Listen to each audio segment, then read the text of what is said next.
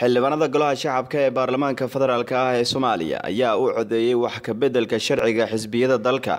Kulankan oo ahaa kii siddeed iyo tobanaad kalfadhiga toddobaad ayaa waxaa shir guddoominayay guddoomiyaha golaha shacabka mudane maxamed mursal sheekh cabdiraxmaan. Waxaana goobjoog ka ahaa kulanka xildhibaanada golaha shacabka boqol afartan iyo laba xildhibaan.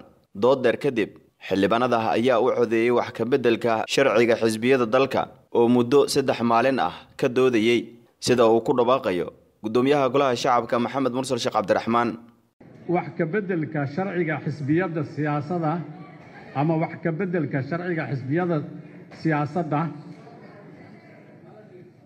waxaa ka aamusay labo.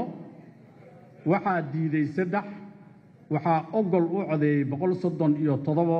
Sidaas ayuu ansax ku yeeshanay cumar yuusuf maxamed raadiyaha iyo telefishinka city muqdisho